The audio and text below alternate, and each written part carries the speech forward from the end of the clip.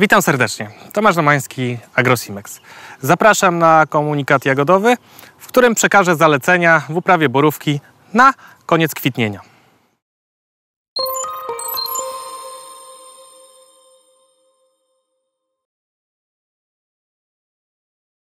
Jesteśmy e, dzisiaj na plantacji borówki w odmianie e, Blue Crop. E, proszę Państwa, zbliżamy się do mm, końca kwitnienia. Niemniej jednak przed nami wiele kluczowych zabiegów, które należy w tej chwili wykonać na plantacji. Przede wszystkim zacznę od ochrony. W tej chwili, jeszcze w tej fazie, powinniśmy tutaj zabezpieczać plantację przed porażeniem roślin, owoców, zawiązków przez groźne patogeny, które wywołują szarą pleśń, które wywołują antraknozę. Nie są może w tym momencie odpowiednie warunki do występowania tych chorób, ponieważ mamy wysokie temperatury, e, mamy e, brak opadów. Niemniej jednak na koniec tygodnia zapowiadane są jakieś przejściowe e, opady deszczu, czy to będą burze. Tego się dowiemy oczywiście na koniec tygodnia, czy te opady w ogóle będą.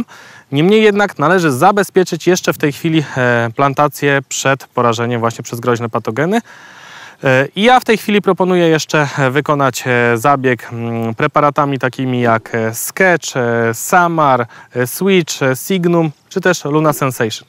Proszę Państwa, w tym momencie, kiedy mamy jeszcze ten okwiat, który nam nie spadł, często dochodzi właśnie do porażenia przez groźne patogeny naszych zawiązków, owoców. Dlatego, że tutaj pod tym okwiatem często zbiera się wilgoć i ta wilgoć utrzymuje się dosyć długo a przy wysokich temperaturach są to idealne warunki do rozwoju tych e, groźnych patogenów. Dlatego zachęcam Państwa, aby e, te zabiegi wykonać przed zapowiadanymi opadami deszczu.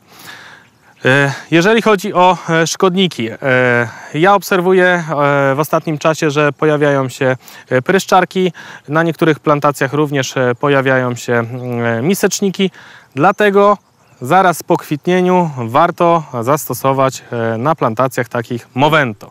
Movento będzie tym jednym z najlepszych rozwiązań właśnie na tą fazę rozwojową. E, szczególnie jeżeli chodzi tutaj o misecznika, mm, trudny szkodnik, ciężko się go zwalcza, a Movento naprawdę mm, tutaj będzie takim odpowiednim e, preparatem, który na pewno bardzo dobrze sobie poradzi z tym szkodnikiem. To są, proszę Państwa, najważniejsze zabiegi ochroniarskie.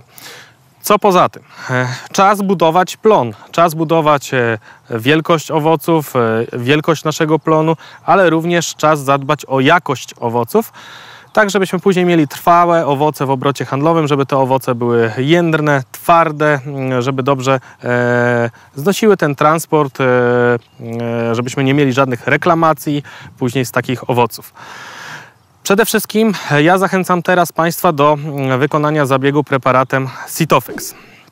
E, syntetyczne cytokininy, które będą wpływały na wielkość owoców, ale również na wielkość plonu.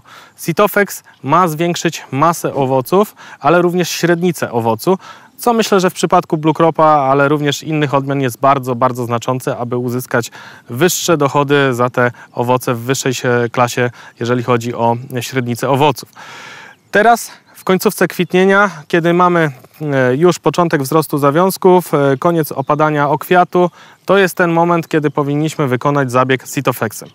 E, polecam wykonać zabieg wcześniej rano, tak aby temperatura w ciągu dnia wzrosła do 15-20 stopni, to są optymalne warunki.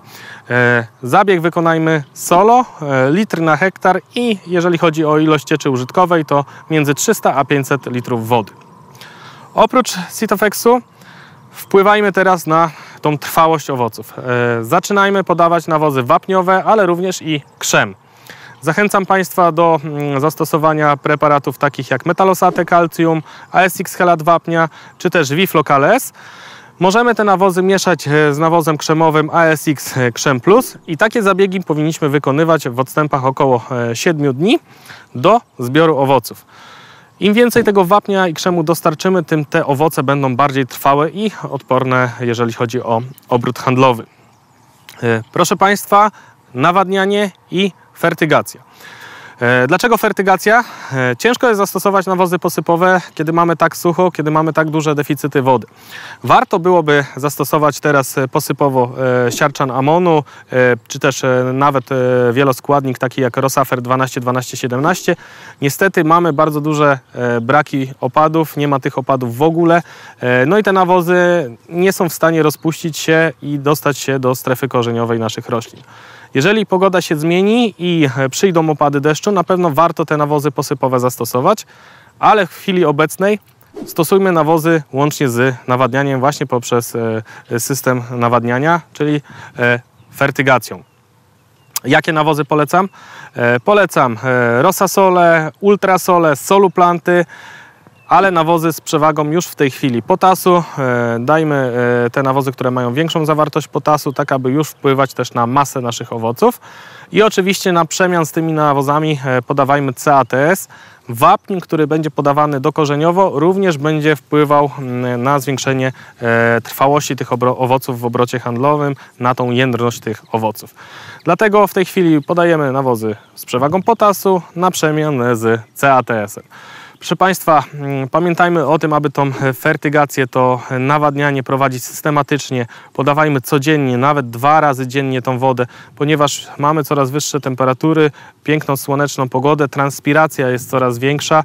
E, widzimy, że rośliny też bardzo ładnie rosną, są przyrosty, więc wykorzystanie przez rośliny tej wody jest bardzo duże. Dlatego na pewno musimy tej wody dostarczać e, w tej chwili, w tej fazie e, więcej i pamiętajmy o tym, aby nie przesuszać naszych roślin. Na dziś to wszystko, dziękuję za uwagę i zapraszam do oglądania naszych kolejnych komunikatów.